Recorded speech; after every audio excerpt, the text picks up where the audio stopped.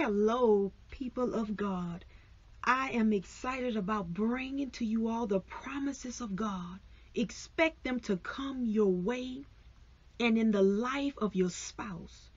This is what's bringing healing and restoration in your marriage. It has already been settled in heavenly places. Remember in Acts chapter 2, these are the words that Peter spoke. He says in verse 32 God raised Jesus from the dead, and we are all witnesses of this. Now he is exalted to the place of highest honor in heaven at God's right hand. And the Father, as he had promised, gave him the Holy Spirit to pour out upon us. This same Holy Spirit, people of God, that raised Christ from the dead and has him seated on the right hand side of the Father, has now been given to our Lord Jesus Christ to pour out upon us, not only you, but your spouse. And this is what's bringing healing and restoration in your marriage.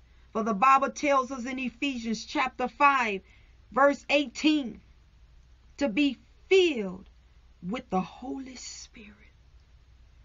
And when the Holy Spirit is poured out on that wayward spouse, get ready for what is coming into that marriage. Wherever the Spirit of the Lord is, there is liberty. Liberty to walk in love. Liberty to walk in joy and peace. And to be united. Where husbands and wives are submitted to one another in everything. As a follower of Christ Jesus as the leading of the Holy Spirit is leading. This is why, people of God, you can meditate. You can meditate on Ephesians chapter 5, verses 21 through 33. There is a promise coming to save your household, the promise of the Holy Spirit.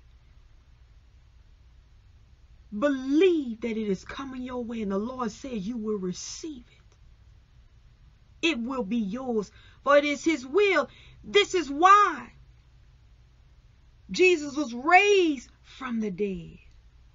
This is why Jesus has been given the Holy Spirit. Now he can pour it out on that loved one that is lost. And their lives will never be the same. But when the Holy Spirit comes, the Bible tells us in Ezekiel what happens. We can even see what happened to the dead, dried bones that were scattered across the valley floors. When the Spirit of the Lord came upon those bones, they was brought back to life. Everything was restored back. The flesh, the muscles, the skin, breath came back. Everything that was brought to ruins and left to nothing was raised up through the power of the Holy Ghost. And this same spirit of grace is bringing life to your marriage. Your marriage will illustrate Christ and the church united into one because the Spirit of the Lord is the Spirit that's coming. The Bible tells us. And that is what's going to cause marriages to illustrate Christ and the church united into one, where husbands who is the head of his wife, as Christ is the head of the church, who is the Savior of the body, loves his church as his own body. This is exactly what a husband would do with his wife. when the Spirit of the Lord comes upon him, there will be liberty. There will be love. There will be deliverance. Same with the wife who is away from the Lord. When the Holy Spirit comes, there will be submission. There will be honor. There will be oneness and unity. Everything is coming back, people of God. It doesn't matter what it looks like. Hold on to the promises of God. For the Bible tells us in Ephesians chapter 5, verse 31, as the scriptures say, a man leaves his father and mother and is joined to his wife, and the two are united into one. All this happens because of the Holy Spirit that was promised to bless a man and give him the grace and the power to be joined to his wife and love his wife as Christ loves the church, and the wife to receive from her husband what he gives unto her his life, his love, his kindness, his headship, his order, his wisdom. The same grace and power that the Lord has poured into us, the body, is what the Holy Spirit is what is is what causes the man to do the same with his wife. Paul says it in verse 32. It is a great mystery. It is a mystery how a man loves his wife and is joined to her. It comes from God. But it is an illustration of the way Christ and the church are one. And so Paul says it like this A man shall love his wife. He shall love his wife as his own body. He was prophetically saying this. And a wife shall respect her husband. This is what happens when the Holy Spirit comes. Seek first the kingdom, people of God. Seek God's Holy Spirit to come forth in that marriage and receive it and believe that it is yours. Your marriage will never be the same. Righteousness and peace and holiness, God's divine power and grace is what's overturning divorce cases, removing adultery, removing idolatry, removing rebellion, removing hostility and enmity, rem- removing abuse in all forms. Instead, there will be love, compassion, like mindedness as Christ, and love and godliness. The curse is broken through the blood of Jesus. Receive it, people of God, and meditate on His word. This is yours. This has already been done, as the word tells us. Peter says it in verse 32 of Acts chapter 2. God raised Jesus from the dead. He raised him from the dead. And now he is he is exalted. He is seated in the place of highest honor. And the Father has promised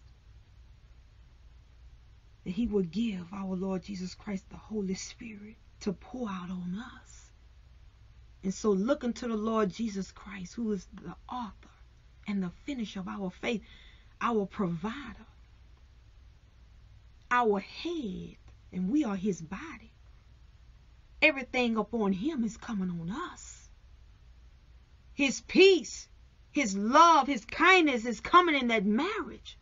His virtue, his grace that is sufficient in our weakness that breaks the chains the bondages and removes the sin and the scales and renews our minds. Get ready. That is what's coming your way. That is what's coming upon your spouse. Take a hold of it and receive it. Hallelujah. These things are being manifested through the power of the Holy Ghost that leads us and guides us and directs our path. This is a great mystery. This is why your marriage will be what it is. But it is an illustration of the way Christ and the church are one.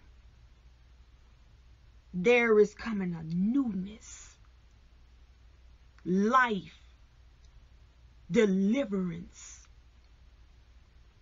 new hearts and new minds. The Lord says, I'm taking out of that old heart of stubbornness and giving you a new heart. Well, how? Through the power of the Holy Ghost. He says, I'm putting my spirit in you and causing man to walk in my ways, in my image and likeness. And a man will love his wife surely as I love the church and lay down my life for it. That is exactly what spirit the Lord is placing in that husband of yours, woman of God, that you have been standing in the gap for. That is what God is saying about your marriage. And same with you, man of God. That spirit of submission and love and respect and honor and, uh, and obedience is the same thing God is about to pour in that wife of yours you are standing in the gap for. It's not by might nor by power, but by my spirit, says the Lord. This is his promise. You can stand on this promise all by itself, and you have everything you need. Just standing on this very word by itself is all you need. It tells it all. It tells it all of why you can receive God's grace and holiness and newness of life in your marriage and in your household and in your spouse because Jesus was raised from the dead and has been given honor and has been given the Holy Spirit to pour out on us who has called us to imitate him in all that we do. So why wouldn't he heal your marriage? Why wouldn't he join you and your spouse? He has called us to be like him. This is why the Spirit of the Lord was given to him to pour out on us, to extend grace to us and raise us up from the dead and seat us in heavenly places and cause our lives to line up according to his will and cause us to do all those things that are pleasing unto him and our Father. And these things were planned for us long ago. Receive it. Thank God every day for the Holy Spirit that is about to encounter your spouse. That's, oh my God, that deliverance is about to bring them back from the dead and enlighten the eyes of their understanding. And bring peace and reconciliation unto them back to the Father. And now you will be one and like minded in that marriage, speaking, speaking volumes of how Christ and the church are one, speaking volumes of how God loves his people. Praise the Lord. It is done, people of God. The Holy Spirit is about to encounter that loved one of yours. Expect that heart to be turned. Expect that to manifest. Jesus has paid the price, and we just praise Him. I wanted to encourage you. Declare these things out of your mouth that your spouse is coming back to life. You know, it was just like the prodigal son. His father said he was he was dead, now he's alive. The Lord was showing us something in his word that that is what the Holy Spirit does in us. Brings us back to life changing us, causing us to become new creatures in Christ Jesus, where old things has passed away and all things has become new, including that marriage. Because where the Spirit of the Lord is, there is liberty. There is life. And Christ Jesus. Praise the Lord. Hallelujah. It is done, people of God. The promises are coming your way. We thank you, Lord God. Hallelujah. For what's coming our way. Thank you, Lord God. We give you the praise. Join with me, people of God, as we pray. Oh, yes, Lord God. Let your Holy Spirit pour out on wayward spouses as you promised. We receive it, Lord God. Thank you that our marriages will never be the same. Thank you that you are filling us even more and more with your Holy Spirit, causing us, Lord God, to walk in your ways, bringing unity in our marriages, love and peace and joy and deliverance. Bondages are broken, chains are broken, minds are renewed, captives are free. Thank you for your Holy Spirit, Lord God, that you promise you will pour out on us you will pour out on all flesh in the last days. Lord, thank you that our husbands are loving us as you love the church and wives are being submitted unto their husbands in everything. As unto the Lord. Oh, thank you that our homes are healed, households are saved and delivered and set free through the blood of Jesus who was raised from the dead. Thank you, Jesus. Father God, I praise your name. The people of God, we praise your name. We honor you and worship you for your holy gift of grace that is able to save all that are lost.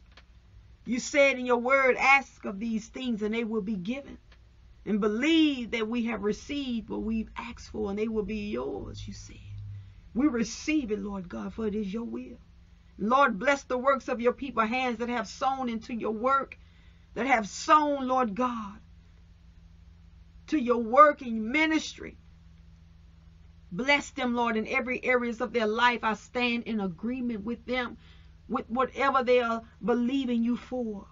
Thank you for each and every one of them, Lord God. Bless your people, Lord. Thank you for your holy blessings and your love and kindness. And we give you the praise for it now in Jesus' name. And we say, Amen, Lord. We receive it. Amen. Hallelujah. Amen. Oh, it is coming your way. Get ready for the encountering of the Holy Spirit to encounter your spouse and bring life into that marriage like never before. The seeds you have been sowing and hiding in your heart, the Lord says, cling on to them. For you will reap a huge harvest. You're going to see things greater than you could have ever asked or imagined come your way because it's his will and his promise unto you. Remember that God loves you, people of God, and I love you too. And until next time, bye bye.